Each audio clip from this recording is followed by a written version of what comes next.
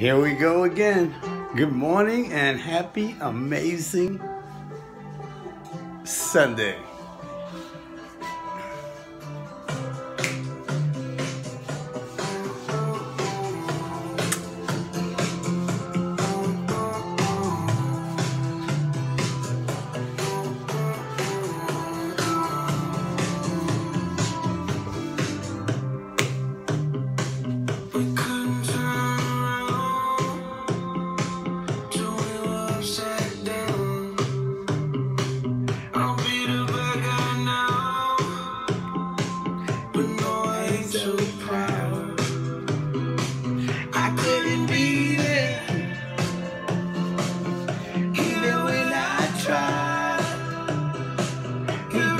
believe it.